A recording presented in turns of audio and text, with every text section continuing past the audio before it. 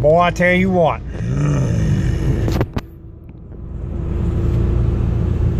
Twenty-five miles per hour.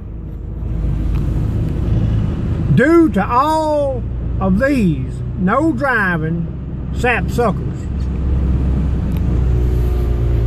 What is going on? I mean, there ain't even no snow on the road yet. Yeah, it's a few flurries falling. My goodness. See, this is what makes driving in the snow dangerous. It ain't the weather. It's the damn fools you got to deal with. Hmm.